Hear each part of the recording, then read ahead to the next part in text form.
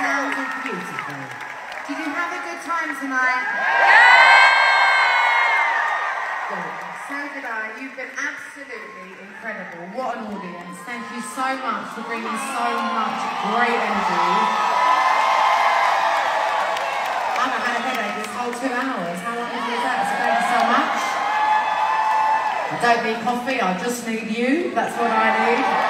Um, I wonderful, wonderful rest of your time in Vegas. Remember to hydrate while you dehydrate out there because it's very, very hot. There's a lot of alcohol, cheap alcohol going around which dehydrates you. And I hope that you make so many amazing memories while you're here. I feel like that's what all the amount of effort that it takes to get to Vegas that you end up having like memories made with your friends and your loved ones.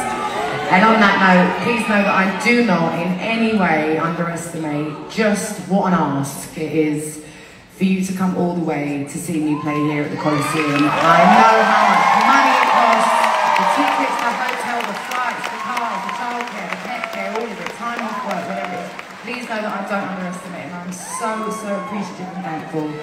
Thank you so much for coming to my show. Let's get our last few